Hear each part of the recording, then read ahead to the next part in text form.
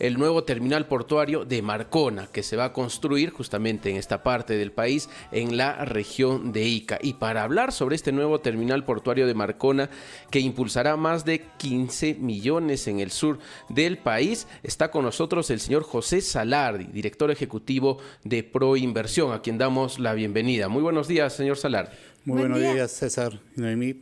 Saludos, gracias por la invitación y también saludos a través de ustedes a todos sus oyentes.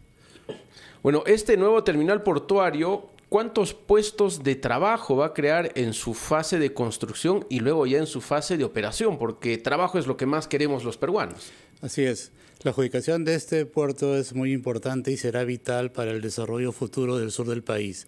El impacto esperado en materia de puestos de trabajo en una primera etapa se acerca a los 1.500 empleos aproximadamente.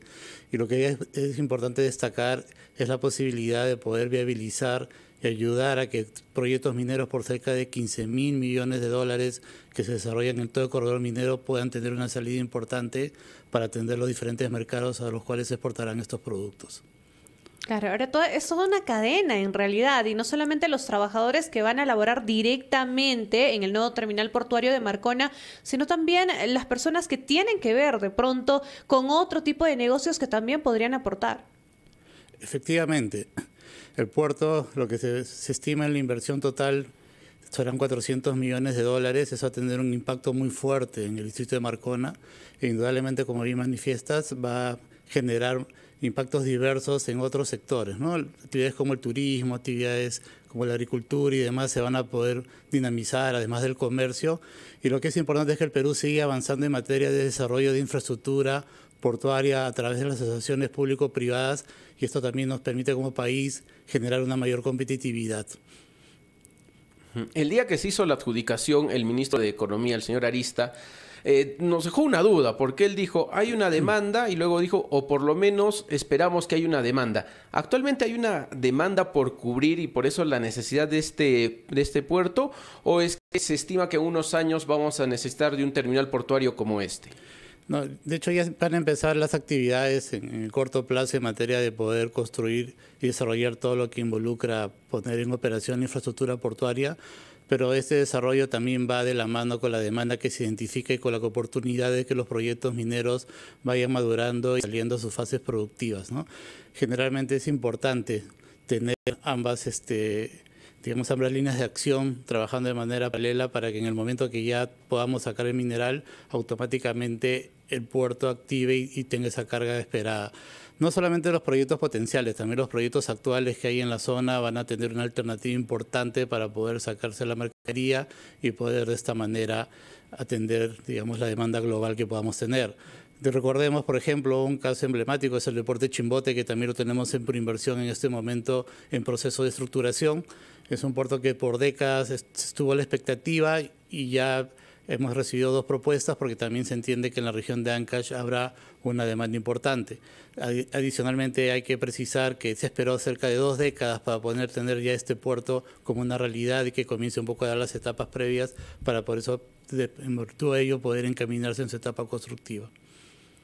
¿Por qué ha sido tan complicado de pronto tener este terminal portuario y en cuánto tiempo estará en funcionamiento? Sí, como comentaba, todo tiene, está en función de la demanda. Recordemos, los proyectos mineros tienen un ciclo propiamente dicho, en que se va explorando y se va comprobando la existencia del mineral y de ahí toda la fase productiva propiamente que esto encamina. Por ello, también, eh, digamos, la demanda que se ha identificando, que se ha cuantificando, permite que el puerto sea una realidad, no solamente para actividad minera, sino también para toda la actividad complementaria que se pueda dar, considerando que el puerto es multipropósito, totalmente amigable con el medio ambiente, cumpliendo los estándares que se dan. Y en esa línea, las, obras de ejecución del puerto deben empezar, calculamos, hacia fines de 2025, inicio de 2026. Tiene un ciclo proyectado constructivo de aproximadamente dos años y con ello comenzará la primera fase a operar y, generará todos los efectos positivos en la economía peruana. Claro, ¿y qué es lo que va a salir por, por este puerto? ¿Qué es lo que vamos a enviar a otros países y qué es lo que vamos a importar? Bueno, vamos a enviar todo tipo de carga, ¿no? Indudablemente por ese multipropósito está el puerto configurado para atender ello. Sin embargo, la primera etapa, lo que se identificó como demanda, digamos, inicial, es básicamente una demanda importante en materia minera con proyectos como Pampa el Pongo que están muy cercanos, pero también el puerto va a estar preparado para recibir todo tipo de carga y en función que se genere un, un círculo virtuoso en la economía de la zona, en las economías regionales que están circundantes van a tener un, un punto de salida.